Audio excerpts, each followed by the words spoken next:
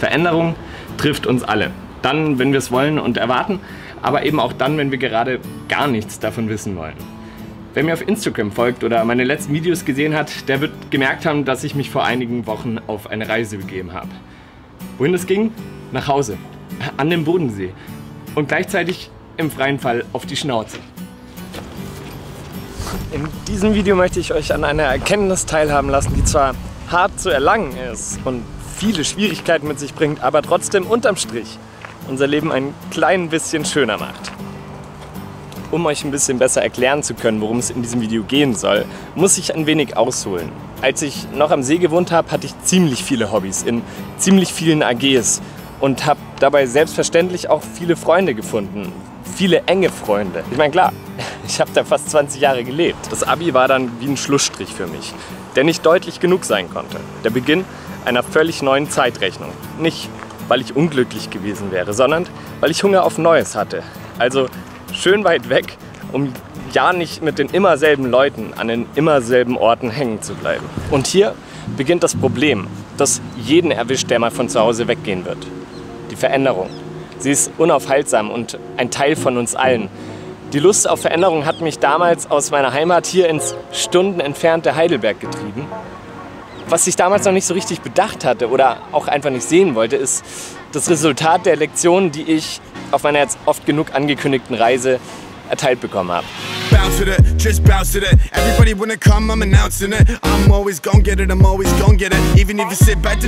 Im Grunde gibt es zwei geile Sachen, wenn man nach Hause kommt oder wenn man hier am Bodensee nach Hause kommt.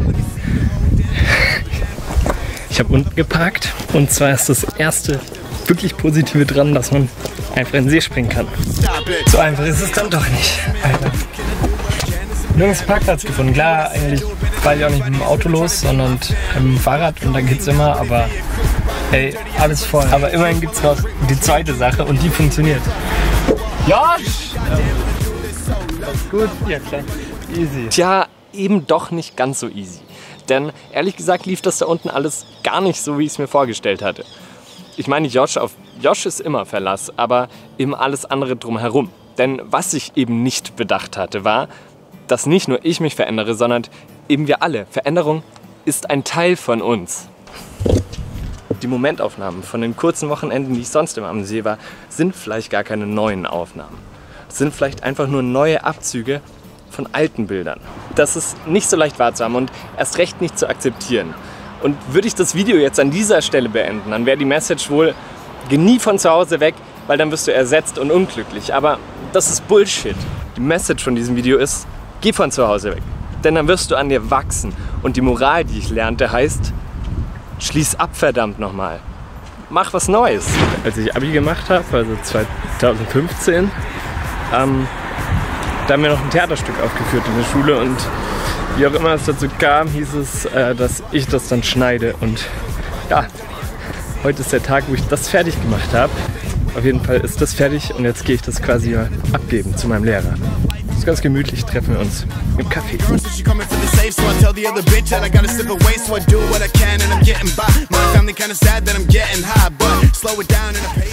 Ah ja, mal wieder was fertig. Mal wieder bei der alten Schule vorbeigeguckt. Das ist doch erfolgreicher Tag. Den restlichen Teil des Urlaubs habe ich nicht mehr versucht, Altes zu bewahren. Ich habe vielmehr versucht, mich neuen Freundschaften zuzuwenden und mit Josh aka Flying Jesus baden zu gehen. Ich habe mich wirklich intensiv mit diesem Thema auseinandergesetzt und mich würde jetzt eure Meinung interessieren oder eure Erfahrung. Wie, wie lief es denn bei euch? Schreibt es super gerne mal in die Kommentare. Vielleicht kann man sich ja gegenseitig noch bereichern.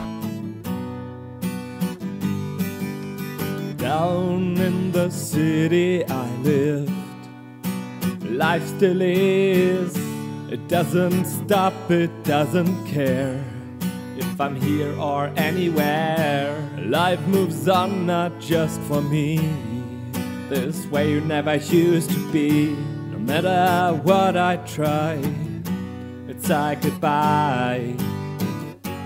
Oh, yes, it hurts. Goodbyes are hard, especially when you were apart. For my whole damn life till now, goodbyes are hard. So uh, let's go. Move on, another door is open now. What the fortune is given to you. Don't stop, you'll have to do something new. You have to grow. So let's go.